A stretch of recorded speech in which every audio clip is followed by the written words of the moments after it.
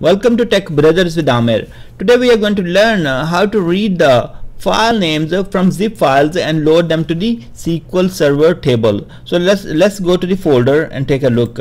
Right here I have four zip files and uh, these zip files contain one or more than one files inside. So let me open customer zip file. If I open that one we can see that there are three text files and one Excel file in this uh, zip file. So what we want to do, we want to get these file names uh, and then log or put into the SQL Server table. By doing it, we would know that how many files are uh, in each of the uh, zip file and actually we will have more information we can query that and we can find and we can search different uh, files according to the requirement so let me go back here in SSMS and show you the DDL statement.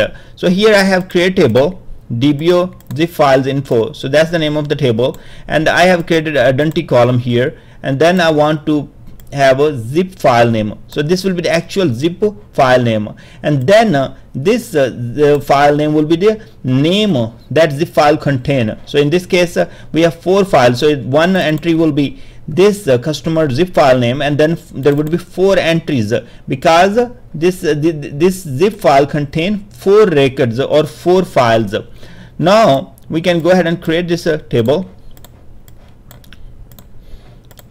table is created next part what we need to do we need to go ahead and create SSIS package. Before I create SSIS package, let me tell you what we are going to learn here. We are going to learn uh, how to create a package parameter in SSIS package. We are going to use uh, the .NET Framework 4.5 in script task and we will be adding couple of assemblies as well. And then uh, we are going to create the ADO.NET Connection Manager in SSIS package and we will use that ADO.NET Connection Manager in script task as well. And uh, finally we will be using these uh, different um, classes from the uh, system.io.compression.file system assembly to use some methods and read the file names from the zip files and insert into the SQL Server table by using script task. So let's go to the SSDT or bids whatever you have according to the version of SSIS you are using. So let's uh, click here on SSIS packages, new SSIS package. First of all, let's go and create a parameter. In your case, if you are using old version, you don't have to create a parameter. You can go ahead and create a variable. I always do that create a variable or parameter so I can change in uh, the value of these uh, parameter or variable by using the configuration. Because on each of the environment you can have different path. So let me archive folder. So in my case I'm creating this uh, parameter called archive folder and I'm going to save the path here so let's go and save the path here in the value. Next part what we are going to do we are going to create a ADO.NET connection manager that will be that we will be using in this script task. So right click here in the connection managers pane and then go to the new ADO.NET connection or you can go to new connection and select from there your choice. Here we will be creating a new one so we have to provide SQL Server instance name or server name.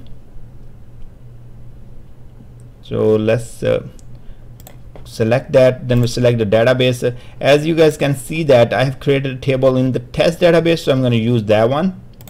So let's select the test sorry. You can write it or you can get from the drop down your choice. And you can test the connection fine hit OK so it is created. And let's go back and rename this one. So we can rename db underscore connection.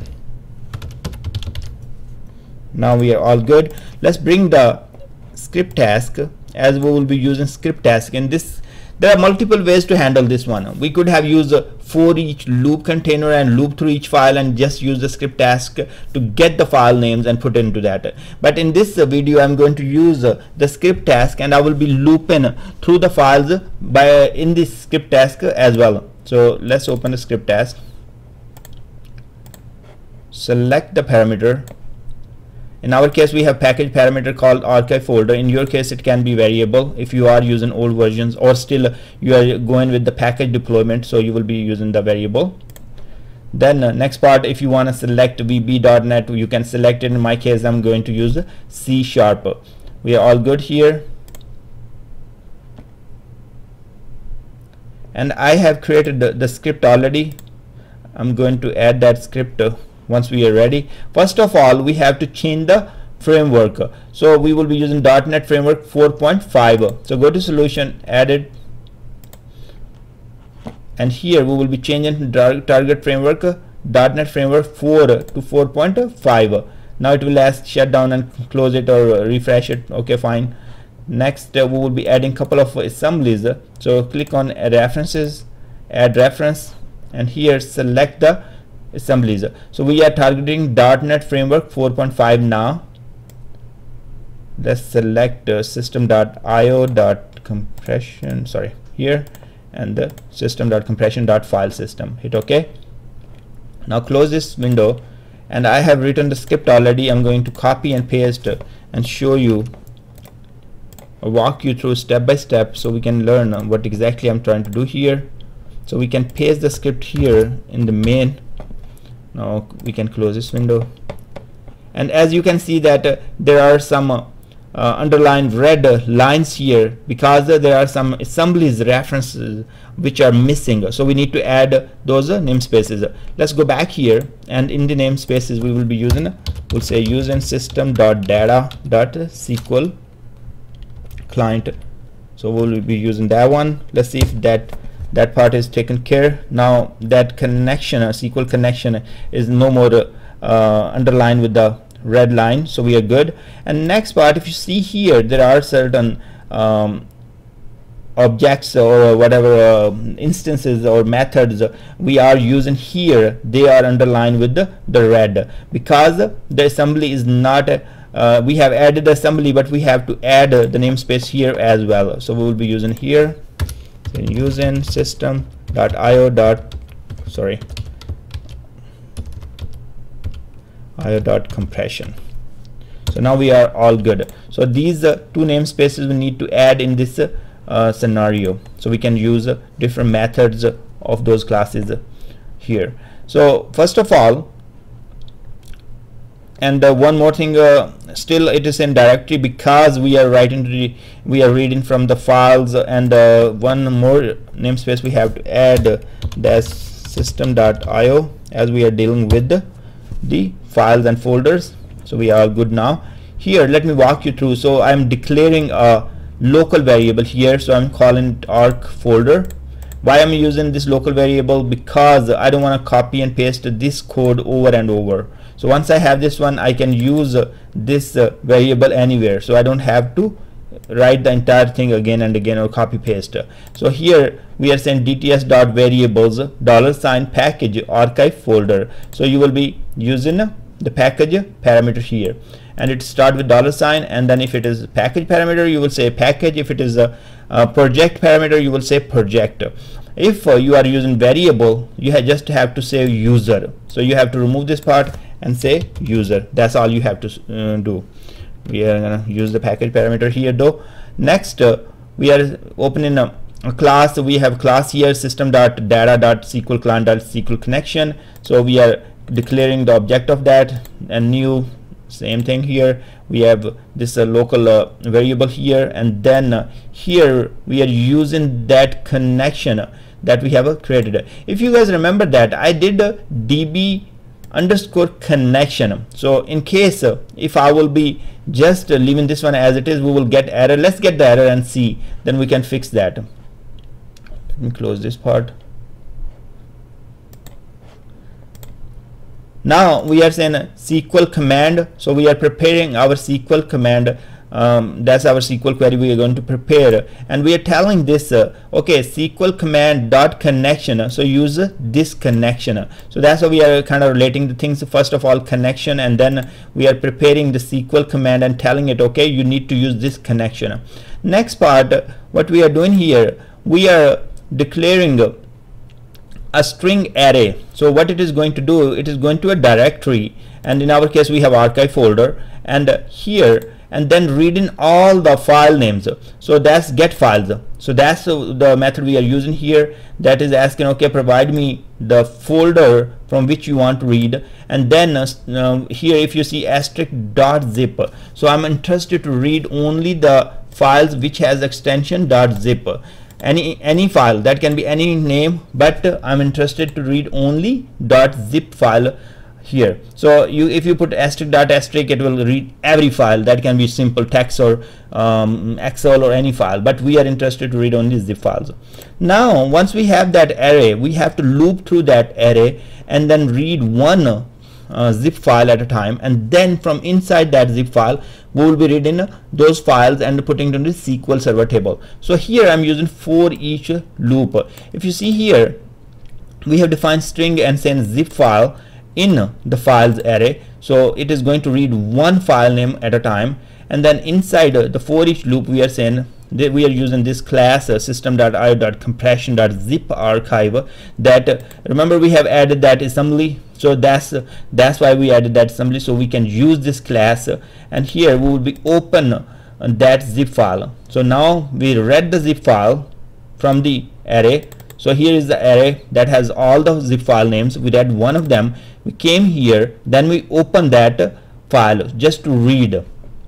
Once uh, we are here now a zipka file can have multiple files inside as well. So as, as, we know that in the customer case we have seen that it can have multiple files as well. So we need to loop through again. So let me go back here. And here we are saying for each zip archive entry. So we are reading the entries by using this class. So we'll say a file entry in archive dot entries.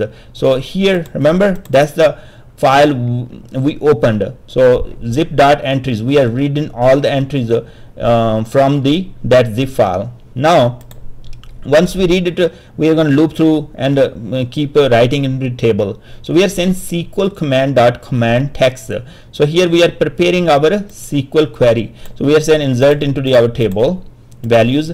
And values uh, we have zip file. That's actual zip file.